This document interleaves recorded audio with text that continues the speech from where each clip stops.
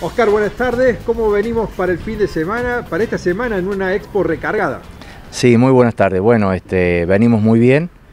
Eh, hemos logrado dejar el, predio en óptimas condiciones.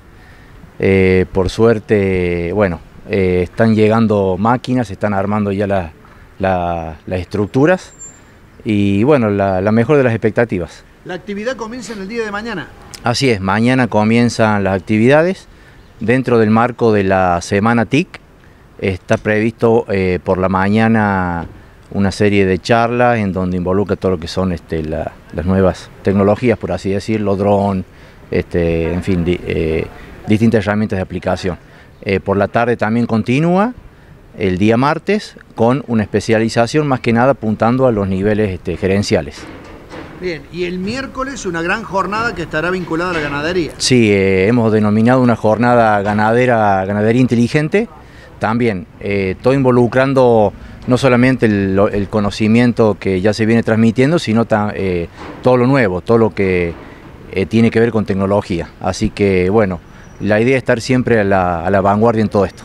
Y después, por supuesto, toda la actividad habitual que está vinculada a la cuestión de la ganadería, eh, lo que es eh, granja y la exposición agroindustrial. Sí, también está, hemos agregado el día jueves eh, una jornada que hemos denominado AgroDay, en donde va a estar con un panel este, político-económico muy importante.